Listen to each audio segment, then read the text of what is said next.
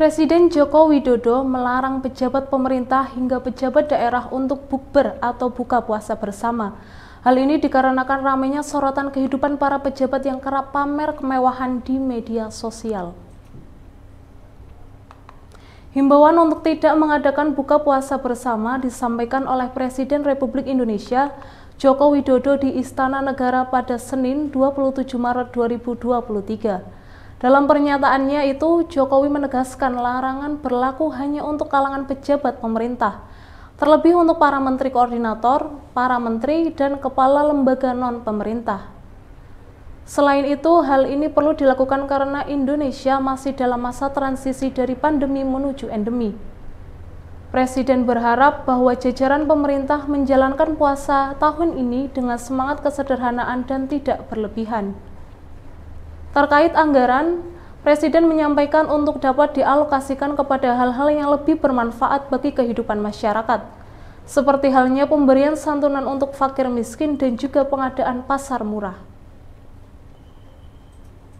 Bapak, Ibu, dan saudara-saudara sebangsa dan setanah air, terkait dengan larangan buka puasa bersama untuk pejabat pemerintah, perlu saya sampaikan.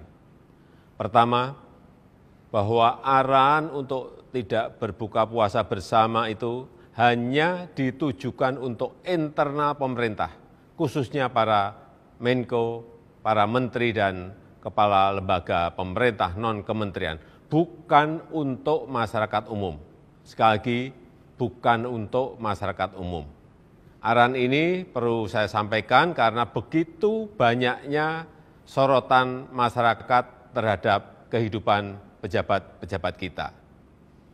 Untuk itu, saya minta agar jajaran pemerintah menyambut bulan puasa tahun ini dengan semangat kesederhanaan, tidak berlebihan, dan anggaran yang biasanya dipakai untuk buka puasa bersama, kita alihkan, kita isi untuk kegiatan-kegiatan yang lebih bermanfaat kita bantu mereka yang lebih membutuhkan, pemberian santunan untuk fakir miskin, pemberian santunan untuk yatim piatu, serta masyarakat yang benar-benar membutuhkan.